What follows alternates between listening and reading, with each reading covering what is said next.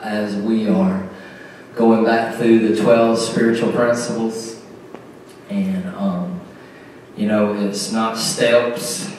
Uh, everybody has to learn to walk. But it is navigation. It's learning to function from the originality in which Jesus paid for already on the finished work, what the Son of God, Yeshua, has done for us. So we're grateful tonight for that as we began to navigate hope. Um, um, you know, one thing about hope is it says it's obtainable. That's what I love about hope. Hope by, by my navigation and understanding of the word, it shows me it's obtainable.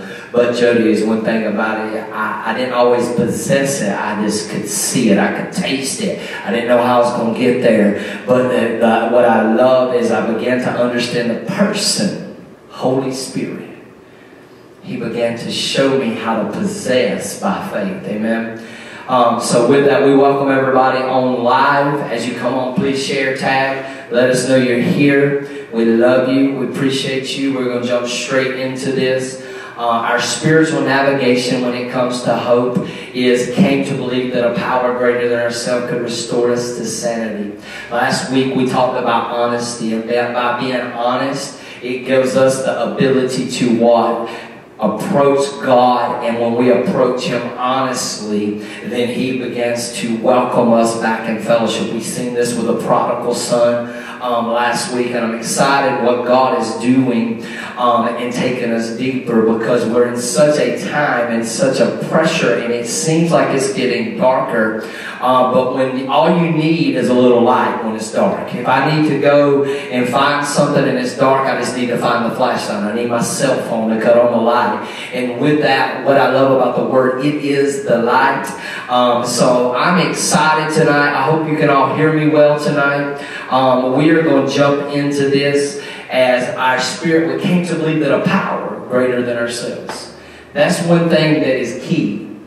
We must always, when we are focused on God, we must view Him, He's always greater than us. Like we have to approach Him in that mindset and in that posture.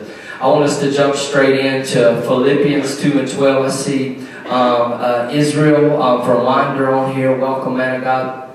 Um, Philippians 2 and 12. So then, my beloved, just as you have always obeyed, not as in my presence only, but much more in my absence, work out your salvation with fear and trembling. Verse 13 says, For it is God who is at work in you, both to will and to work his good pleasure. Now, I love this. This is one of the most um, uh, out of context. I've, if, if, there's ever been a scripture people use out of context or almost like a place to uh, just try to get beyond or deflect, is this scripture. I hear so many people say, I'm working out my own salvation. But if you understand in context what Paul was saying, he opens up talking about is there any if there's any love, if there's any consolation, I believe, it means encouragement, if there's any fellowship, and we talk about honesty brings us back into fellowship with God. When you begin to look at this and look at it in context, where some people use it to remove themselves from church, Paul actually pins this to make you one. He's not pointing you to take and say, Your hope is the church, your hope is Jesus, but the church has many members, he says, in multiple different uh, epistles. So we must understand. Um, uh, welcome, uh, Sandra. Welcome, welcome. Um, when you look at this, you must understand that he is saying salvation with fear and trembling. If you want to understand how unity will show up and clarity and oneness will show up, is when we all really fear God. When we all come into a place as an audience of one, but we understand the power to gather, the power that when we come together, because I guarantee you, everybody in the room, everybody online, whoever it might be that may watch this in the future, you may be revisit your notes when you do the worksheets and stuff. When you look at this, at some point you're going to be hoping that something would come into place. I believe it's in um, Proverbs, it says hope deferred. Right? Hope deferred. That means it's, um, it's almost like, is it coming? it's delayed, right? But I have a responsibility to hope. Amen. And that's what I, we want to break down tonight. And so when you begin to look at this, and it talks about work out your own salvation with fear and trembling, is saying virtually what I hear in Revelation. What are you doing personally for your spiritual growth and your development? To what? To keep you as one with God and the body. Now I could, you know, you know the American dream. Just go to college if you can get the right uh, credentials, or you can get the right education, or you can get the right. I'm not against education, but if you can get all of these right things in place, you're successful. But Paul flips in a society with the Philippians and he tells them, Look, what are you doing? What is your focus right now with your spiritual growth? If you're emotionally bound, it's hard for your spirit to what? You be growing in the spirit realm. You are growing more emotional, right? Suppressing more emotions if we're not careful. We can have a mind that's spinning out on things and get caught up on something that's got us distracted, right? Getting our attention. I'm going to help y'all real fast. Let me help y'all. Look at your natural day Look at what you leave around and what you put up. Look at how you got things organized. Look at how you really go about. Think about this. Now, I have no issue with caffeine. I have no issue. Now, if you're addicted to it, that's a problem. Let me tell you the number one factor if you're addicted to caffeine. You must have it before you take and got a good attitude in the day. Or when you're in a place that you're tired, and the only way that you begin, I don't know why he's going to caffeine, but only way that you can now begin to flip and have uh, you feel like being around people is now I need that feel better. That because what it does it releases endorphins right? Because caffeine is your body automatically makes it right? So I'm not against coffee so don't hear what I'm not saying. I'm not I don't I don't agree with like those crazy monsters and stuff like that. But what I am saying was this anything that you put in place without a uh, uh, uh, without God's voice putting it in place. Does that make sense? You depend more on it to go. So this is how I broke it. I can remember I had an issue with coffee at one time.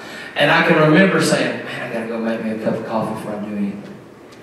And I was like, man, I am putting that as a power to give me the ability to go. Now, caffeine is my natural, but we're going beyond the natural. Remember, spiritual navigation a power greater than me, right? So do I just want to have the emotion and attitude for a moment, or does my spirit rise? How can I say, okay, Holy Spirit, what you want to do? How are we going to do this? Um, so welcome, uh, I see Melvina on here. Welcome, man. Um, so I want you to look at this. What is your spiritual growth and development? What are you asking God? What is the intentionalness of today? What are we doing today? If you can always just start your, that's very sobering. I promise you, you'll be like, whew. And then you can go make your pot of coffee after you began it with God. Does that make sense? I, am trying to get you somewhere. It may not be that. It may be social media is the first thing. It may be looking at your bank account. It might be um, uh, uh, um, something to the regards of, oh goodness, I can't, I got to begin this day. I got to get the kids stuff. I got to get, uh, uh, I've had times I got to get this, this, this, this done with the business. Whatever it is, but I could have prepared for that the day before. Does that make sense? I'm trying to get, get us somewhere to dependent on Holy Spirit, and He prepares us, and then when we don't have it all together, supernaturally He will help us overcome. Amen? Yeah. So, what are you, if you don't care, put that into actual um, things. What are y'all doing for your spiritual growth and development that keeps us one with God and the body? So, he draws this in context three places. He talks about the mind, character, and it's all accessed by faith. But I love this. If you, I want to skip to one scripture towards the end here. It says this. It says, um, and character. Yeah, character. It says this right here. But you know, where's it? There we go. Here we go. But you know his proven character that as a son with his father, he served with me in the gospel. He's talking about Timothy here. Therefore, I hope to send him at once. What is he saying? Remember, hope I am as my obtainable. I, that's something I can obtain. So he said, I hope that I can put Timothy because y'all saw him serve as a son to a spiritual father. He's given us an example of character. He's given us an example of oneness operating together, which is what Jesus done, the Son of God done with the Father, the perfect example through the Gospels, right? And so it, before that, it goes every knee shall bow. It goes into all this stuff. It gives us the gospel of what that looks like. And it comes into a place to give us this. That just as he demoted himself and gave up everything and put himself in position to redeem us, is now saying, I can't now go to work out my own salvation and it's yeah, you might be doing some things different. God may have you in a different season. God may be putting his finger on something now that is proving the character that somebody else can see to bring hope to them. So he's saying this, I'm going to send, my hope is to send Timothy that his character, his faith, and his oneness shall be an example to you. So God wants us to face life sober-minded so that we can have an honest chance to make good choices in life. We cannot make clear decisions if we have poison. When we talk about addiction, um, addiction is a toxic, compulsive behavior. When you are feeding yourself, and it could be anything. Remember, a toxic, compulsive behavior. I didn't just say drugs. I didn't just say alcohol. I didn't just say pornography. I didn't just say one thing. I, I am saying, what is it that is toxic, compulsive behavior because it's producing, right? Something that I'm codependent, a idol, something that I'm calling a power higher than me, but I say Jesus is Lord, right? Our Holy Spirit guide me, right? I'm not saying this to beat you up. I'm saying this will you let Holy Spirit come bring you to a place of fear and trembling. Because when it does, he says this. He says, as you have the mind as he. What you're thinking is where you're headed, right? So, if I can get my mind focused in a place that I can now make clear decisions. How? Because I have his mind. We cannot make clear decisions when we feed ourselves this. It contaminates our spirit, soul, and body. Isaiah 40 and 28, uh, 28 says, Do you not know? Have you not heard the everlasting God, the Lord, the creator of the ends of the earth, does not become weary or tired? His understanding is inscrutable. Uh, he gives strength to the weary. So if you're weary tonight, guess what? Your hope is He gives strength. Um, his understanding is inscrutable. He gives strength to the weary. And he who lacks might, He increases power. So if you feel like you're lacking in power, you guess what? He will give power, the ability, right? I love the power of God. It comes in a form of fire. What I love about fire is this it gives you the ability. Um, how do I say this? When power shows up, miracles show up. So if, if you're lacking in a, if, if, it's virtually saying something that natural law, there's no way this could take place. But when it yields to God, or it yields to the Son, Timothy, I'm coming at sending him as an example. It will take what was impossible by natural law and it turns it, it flips it, it brings it into fruition, right? Now this is the other thing of power. It gives you the ability to endure. I don't know about y'all, but I've been in a season I feel like where I've really had to endure some things. It's, it's come in different ways. It didn't come the way, and I ain't talking about the devil at times maybe, but I'm talking about trials and tests and different things that we face on day to day, right? More responsibility, expansion, stretching. Uh, all of that, when it comes, fire gives you the ability to endure the new. We always want the new. We want what is ancient of days, Christ in Christ Jesus, right? But it takes the fire to endure. So, when we look at this, if you're lacking in power, guess what? Your hope is he has more. He has power. Verse 30. Though youth grow weary and tired, and vigorous young men stumble badly. Okay. Well, if you youth, you feel tired. Or if you're the oldest person and you still feel tired, your hope is He will flip tiredness and He'll give you energy. He'll give you strength. He'll give you power. He gives you the ability to keep going. If you have stumbled badly, guess what? Your hope is He gives you the ability now to have wisdom not to stumble again, right? Um, yet those who wait for the Lord will get again new strength. They will mount up on up with wings like eagles. They will run and not get tired. They will walk and not become weary. Now, what I love about eagles is represent, representation of the office of the prophet.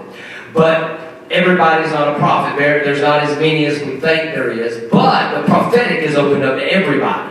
It's the heart of the Father. My hope is, is not my function. My hope is, is I am a son of God. My hope is that you are a son or daughter of the Most High. So my hope is not to, I can, I, I'm so accurate, right? My hope is, is that I come into His accuracy of His voice. My hope is, is because of this, my perspective changes, my perception is changing because what? My hope is in Him. Right? So when I look at this, remember, wait does not mean you're not doing anything, but preparing. Remember? What are we doing as far as our spiritual growth and development?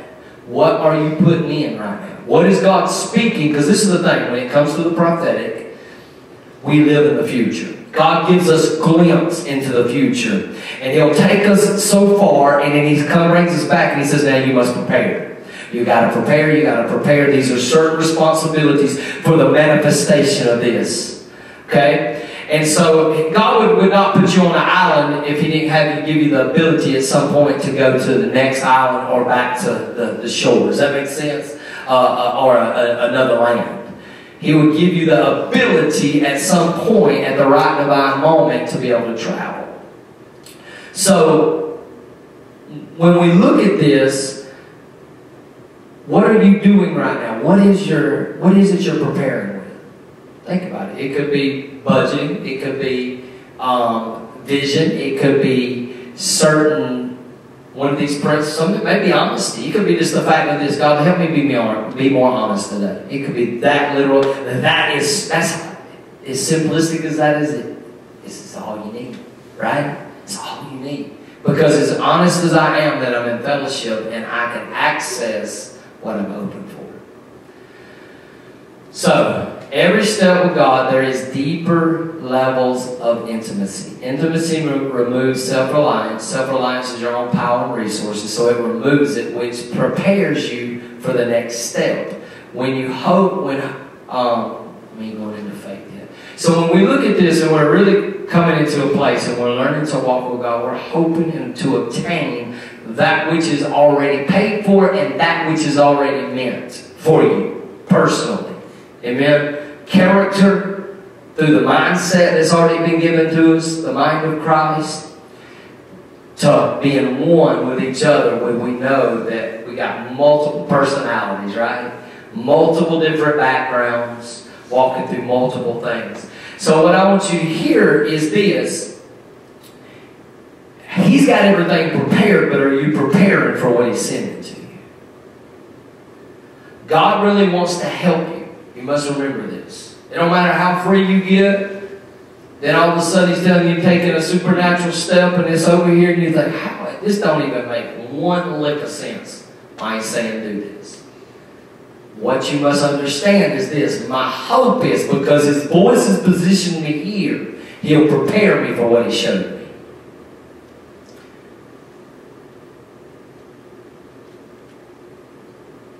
I, I learn this every time when God brings me into a new place or a new season or a next step of um, faith that He's preparing me. Before faith ever comes into place, there's a hope established. I'm hoping for this, right? So, think about this. Even Peter walking on water, he stepped out. His hope was to get to it, so he was walking by faith. But then his hope come, I'm drowning. Right? Our key comes down is we keep our eyes locked. It doesn't matter when you look off, you just got to look back. You got to remember where your hope comes from. So, when we began to walk in this, God, um, you got, you must remember, He has been waiting for your complete surrender. So you can be in a new place with God and really not surrender an area that He's asking for, right? Because this is the evidence of the Lord. This is this is Holy Spirit is the Lord of glory, right? In Corinthians. So every time I go to a deeper place in intimacy through communication, that's where it's birthed, right? When that takes place, when he communicates, that means I probably want to surrender something. And it may not even be something that's so bad sometimes we think, like, well, you know, I'm not a drug addict no more. I'm free, I'm a son, right? I'm not bound to pornography no more. I'm not bound to that. You know what I'm saying? It's not those things. But the key of, okay, you will surrender your attitude. You're frustrated. You know good and well you got, it was wrong, but you see what I'm saying? Can I surrender it and get to a place of soberness? One thing that Ashley and I have really been working on in everything we do is we try not to express ourselves too much in the midst of mixed emotions about something but to revisit and have hard conversations, which then gives us the ability to our household and everybody else connected, because then we are what? We are speaking from a sober place. Remember, approach life sober. The only way you stay sober in the spirit, I'm not talking about natural drug now, I'm talking about sober in the spirit and your emotions, is you must live a life of surrender. Amen? Amen. So, we have to understand we cannot beat or win against any addiction. We said that. Um, now the now facing the truth that we cannot fix our problems. It don't matter how anointed, how powerful you are. You can't fix your problems. You you know He is the fixer, right? Now, how do I see the release or the fullness of the hope in which I'm facing? Is because I come responsible to the hope that has been spoken. How do I find that? What I'm lacking in is in the Bible. I read the Word, I find the hope, which then I come responsible. When I begin to become responsible to the hope of the high calling, then it gives me the ability to what? Faith that some moment to come into place. And we're not to faith it, that's next week. But you see how these things build, right? Um, so, now facing the, truth that we cannot fix our problems, um, that self-reliance, which is dependent on our own power and resource, is a false idol. At the root is pride. When we walk through these areas in life, a lot of times it's not pride of like sometimes what we think when we think of pride. Survival is pride. I'm going to just make it through this day. And that is a good mindset to start with, but I must have spiritual development and now applying myself in areas that go beyond the surface of that. Let me get to a place because when I understand or see the hope of Him, it gives me the awareness of Him. If I have the awareness of relationship with Him, this is one thing I've learned. No matter what, whoever I hang out with, you will see me pick up their language. You will see certain nonverbals that will begin to pick up. You will see even, I mean, even clothing to a certain degree maybe. And I'm not saying, uh, somebody asked me one time, I began to uh, go into a, a, new circle, and a, a, lot of them wore like, uh, what's those, what's those tight jeans, or whatever you call them? Uh, skinny jeans, skinny jeans. They said, you're going to start, you're going to get you some skinny jeans next? That's what this guy, this guy was aggravating me or whatever. And I said, well, mean, I don't even know what my response was. But I got a pair of skinny jeans now. That's probably since 2017, 18 that was said to me. Do I wear them every day? No.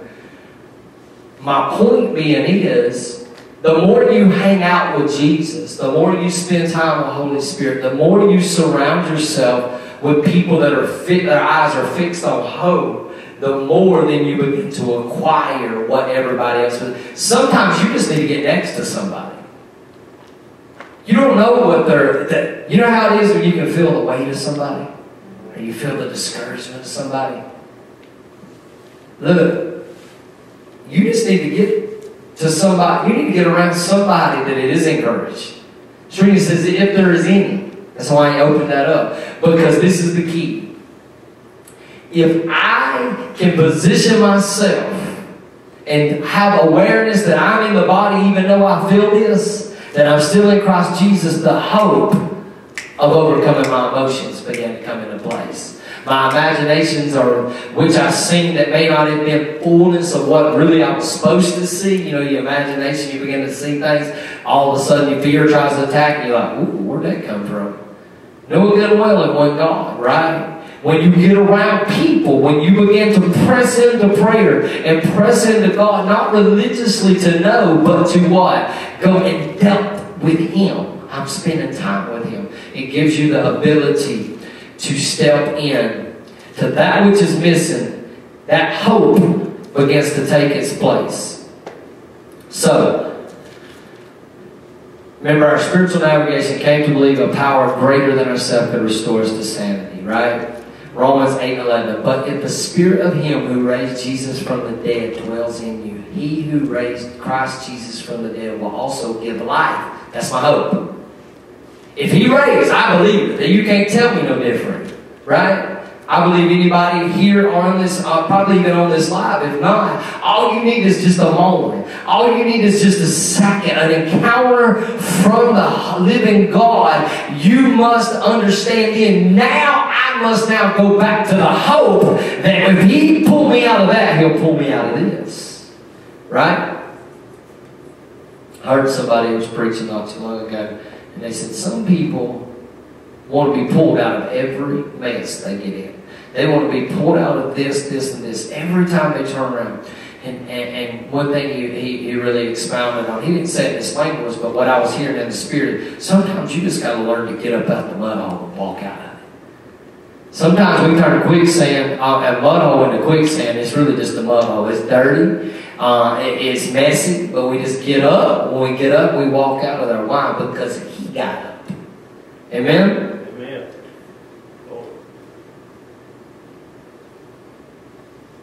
But it goes on to say, He who raised Christ Jesus from the dead will also give life to your mortal bodies through His Spirit who dwells in you.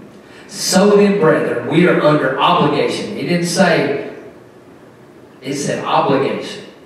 Not to the flesh, to live according to the flesh. For if you are living according to the flesh, you must die. But if you live by the Spirit, you are putting to death the deeds of the body, you will live. So we have to stop and say, are we living according to the flesh or, or to Holy Spirit? Is our flesh dying? Because this is the key. Can get filled with the Holy Ghost, but I want to stay in overflow of the Holy Ghost. A sign of overflow of the, uh, overflow of the Holy Ghost is because you can die. I think a perspective prophetically is when I'm weary, I have the perception or the perspective because of my hope is the fact I know the difference of a demon in my flesh. My hope is I know he already conquered death, sin, and the grave. Okay? Hell, you don't have hold of me. Sin, you don't have hold of me. Be obedient children, he said. But how do I navigate back? Because I must get honest. Am I living according to the flesh or Holy Spirit? Amen? Amen? So, now that we have found our hope, we have to continue in every second learning how to trust God. What I've learned through my experience and observed from others, trusting God can be challenging because we wonder if He really will or wants to help us, or will He do it in a way we don't want Him to. So we want it now. Right? Faith says I can have it now, but I don't understand the fullness of the hope that I need for it now. Hear that. Because hope gives me the lens of what I need. Hope gives me the character. Hope gives me the mindset. Hope gives me the ability to see. If I'm to obtain something of God, I must be able to see it, right? I know Him better. I know Him not just in His power, but in His death. So if I can hope to the fullness, and that's, y'all understand that that's a continual thing. But if I got that pursuit and hope, I might be hoping that God would resurrect this and He'd say, bury it. I would might be hoping that God would say, I want, I want to see this thing come up out the dry, these dry bones out of the valley. And he said, that's nothing. Only way that's going to take place is a testimony, but it isn't going to be a part of your artillery. Does this make sense? It'll come artillery in the spirit to reach somebody, but it won't be something of how you think you're going to make it to the next. So, when we look at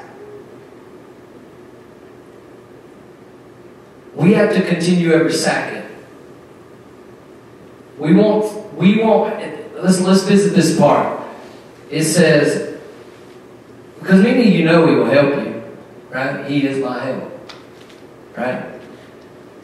Because sometimes I'll say this like, I know He's my help. But come on, when you're emotion, you beat down, you know you heard it clearly. Come on, the emotion is playing off.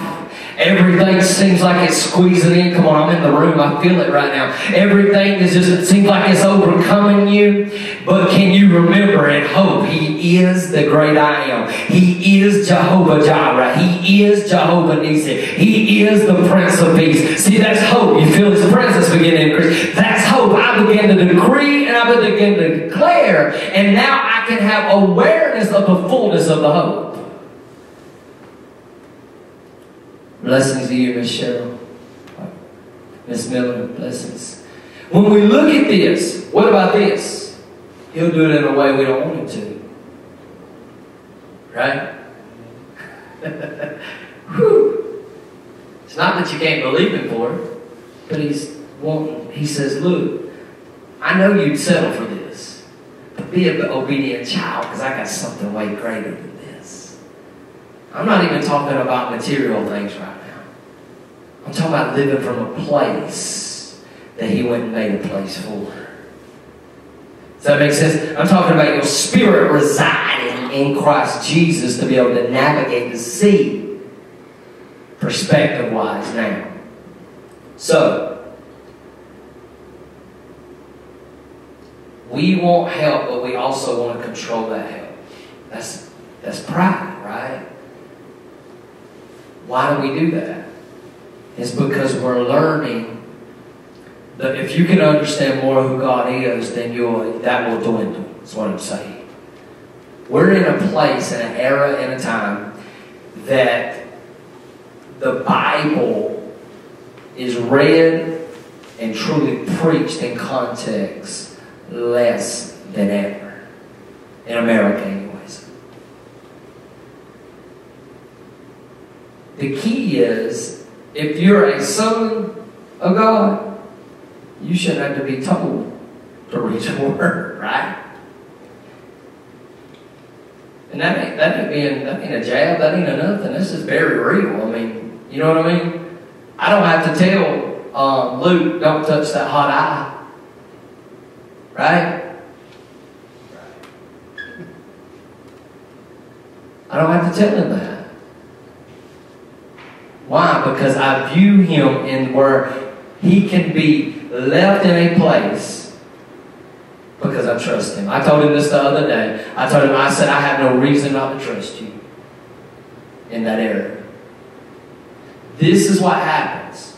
This is where the fullness of hope, not understanding, or, or not understanding hope in an area, and we always are growing in this when we view things from our past of what we've done or how we've done it, or we view through the lenses of how other people are doing it, and you don't look through the lenses of God in that moment for that individual, you are actually stepping out of the will of God. Ain't that what it said, those scripture talking about to do His will in us? Verse 13, right?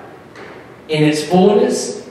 So I can cap or almost steer you left or right if I don't take and see the hope that you need. Remember, a body. We're not just talking about our hope of being set free. We're set free. Thank you, Jesus. But not only st- set free, staying free, and then helping others walk in freedom or the will of God. Right? So when we look at this, um,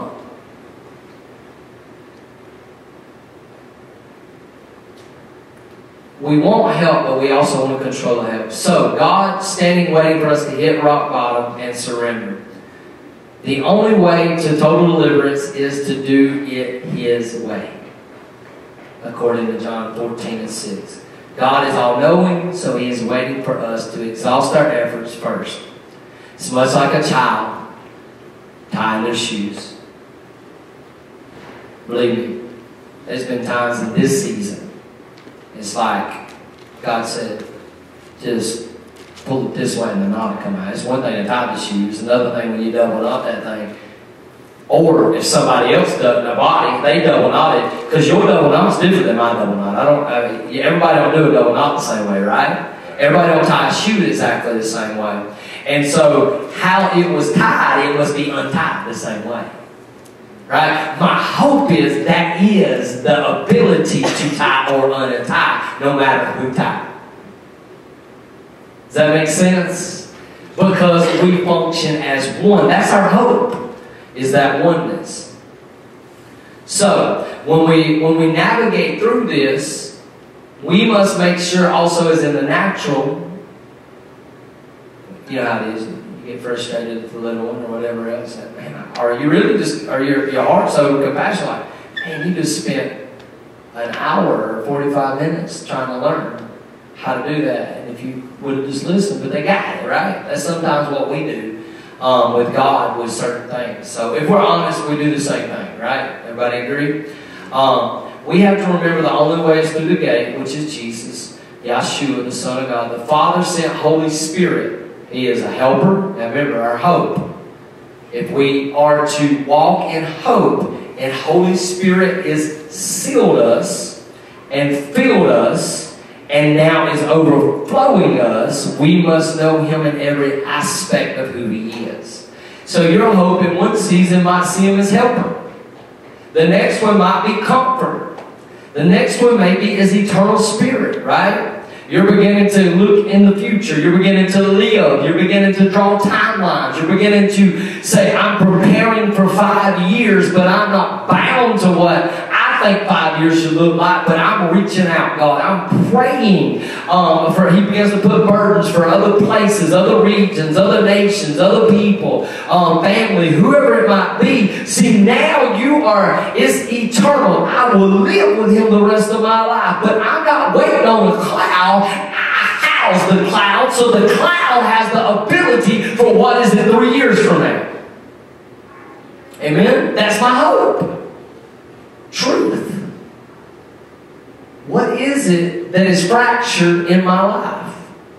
Spirit, soul, or body, or around me, or the assignment of me, that I need truth.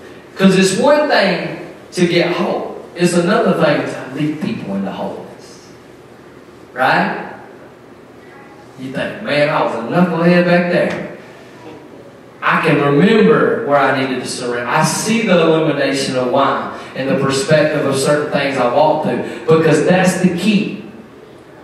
When you overcome something, you may not, you had the hope to overcome it, but when you become that went from, um, uh, I guess, assignment to on assignment, then you're like, ooh, my hope now has to come into another place because now it's not me overcoming, it's me helping overcome. Is this helping anybody? Into the place of my perspective must change. Um, him giving us strength in those times. So, you must know him as deliverer. Amen? I promise you this. You go through deliverance, you go through levels, and you become responsible to your deliverance. But if you don't know him as deliverer, what will happen is this. You will get in the way of somebody's deliverance. Just because he delivered you this way don't mean he's going to deliver them that way. Just because you snapped out of one thing this way, and but you had a process of this over here, walk work out your own salvation is giving you hope that their salvation is in its fullness. But how you walk beside them might not be in the fullness of what you had to walk through, but you got the tools of fixing your eyes on the hope, the finished work. Amen? The deliverer. What is the deliverer? He delivers me out of anything that would entrap me. Flesh, demons, agree, false agreements, wrong agreements. Does that make sense? So, I want you to, if you hear nothing else, Holy Spirit is a companion. He guides us into all truth of Himself and us. In other words, who is Him? He is God. So He brings us, He's like Jesus walked the earth. And now, because Jesus is the right hand of the Father, is now Jesus sits on every one of our hearts. It's like the multiplication of Jesus um, to, to, to make us gateways into the earth realm. So, we must understand God wants to help us more than we do ourselves. True reality is we can't help ourselves, but surrender and, and but we true reality is we can't help ourselves but surrender. The only way you can help yourself in its fullness is surrender. When I surrender, I have the ability to the helper. I have, or I have access and the ability of the helper. So, this is what I want us to say together, no matter where you're at, even online. I cannot fix myself, but I desire the one who loved me first Holy Spirit, you are welcome to this part currently in me that you're revealing to me. Will you encounter me? I'm tired of change because I'm subject to change back. I surrender this area. Will you transform me? In the name of Jesus. Then we must find truths about Him and, and us and read and study and prophesy them over ourselves until our mind is restored to what God thinks and creates. So think about this. You could encounter Him in a way of deliverer, but you have the perspective of the deliverer. So in other words, He could supply, but do I have the mind of the supplier? I have access, but can I now have, can I access that part that I not only He redeemed it, but I can also walk in the redemption of it. So, just going back, a lot of times, God, honestly, this is what I, have learned over the years. And I've, I've caught myself personally doing this uh, at different times. We treat God like a, like, uh, what do they call it? Uh, sugar daddy or sugar mama. We treat him. God, give me this. God, I need this. God, I want this. God, I want. What I need to do then is go in to say, if He said He'll supply our need, what is needs? What is wants? Because if I can know the difference between a need and a want, my hope is no matter what, at the last moment, I won't go hungry. My kids won't go hungry. My wife won't go hungry. None of you will go hungry. Right? Because that is a guarantee. There's times that I got, some of you, you'll come to me you'll say, should I do this in this next step? And I'll say, well, does that fall under need or want? If it falls under need, you got to take the step. Your hope is that He is the supplier. Your next thing after that, that you have the awareness of the fullness of hope which you obtain, will be faith, right? I'll step in this. I've done my part, right? A lot of times we waiting, and God is saying, I'm waiting on you. I already got it. Right? Let that be an encouragement. You tired? He got strength. You bound? He got deliverance. You hurt? He's got wholeness. You fatigued? He'll restore it right instantly. Amen? So, I think a lot of times we feel a little better, and so we kind of step back, right? Anybody ever done that? I feel, ooh, I was under this or I was this, and then I get distracted by everything that had me distracted again. That, look, that's why sometimes things are hope deferred. It's because we're not responsible to the hope that's obtainable. That's what Paul was telling him. Welcome, welcome, welcome. Amen. So, when we look at this and we think about hope tonight, this ain't to, to beat anybody up. This ain't to discourage you. This is honestly to establish hope in you. Because I don't want the finger to be on hope delayed anymore or deferred anymore. I want you to see the fullness of your hope. And it may not come the way you want it. It might not come as fast as you want it. It might not have the, uh, uh, uh, the it may not look the way you wanted it. But the guarantee is, if he said it, it's guaranteed. There's no ifs, ands, or buts about it. Amen? Amen. So, with that, it all comes to this. I want you to understand when we come down to, as we're closing here, is knowing the person, Holy Spirit. Knowing Him in such an intimate way. And seek is going to be your responsibility that brings you into a, such an intimate place with Him. This is what's going to happen. It's going to kill your flesh. It's going to be uncomfortable. It's going to frustrate certain things in your life. This is one thing I've learned.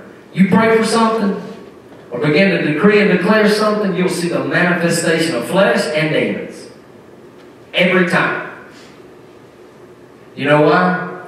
Nothing, you can see something, but a lot of times because it's a body thing and not just a eye thing, right?